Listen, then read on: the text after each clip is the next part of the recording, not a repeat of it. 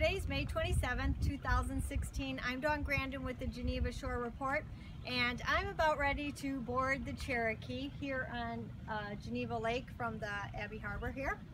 So come aboard.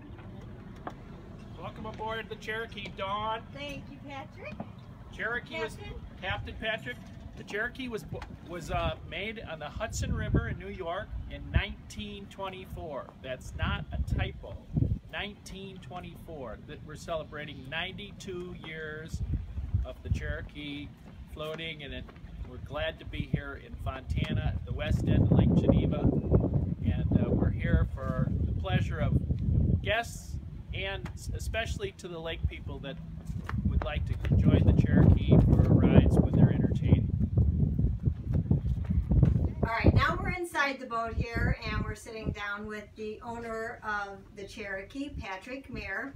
Patrick, how did you, um, how did the boat become yours? Actually, the When? boat was in a cornfield for seven years, previously owned by David, the late David Young, as in Verlo Mattress Company. Oh. And uh, um, we're proud to call her Mahertime Charters. Uh, it's a play on word with our name, M-A-H-E-R, so we're Mahertime. Uh, we're just here uh, to share a fine wood boat with people on the lake that uh, have appreciation for the, uh, the older wood boats. And um, she's a very special craft, and we welcome you aboard.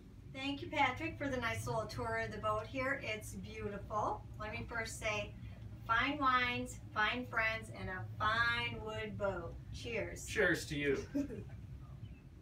Dawn Grandin, Geneva Shore Report.